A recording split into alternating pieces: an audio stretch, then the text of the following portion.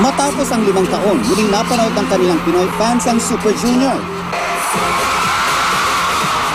7 out of 13 members ang nag-perform sa Super Show 7.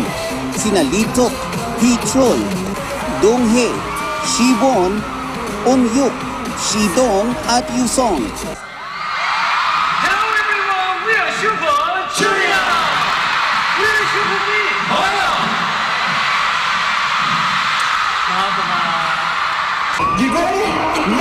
Hindi naman nabigo ang Pinoy Elves dahil sa mga pasiklab na song and dance number ng K-pop group tulad ng hit song na Black Suit.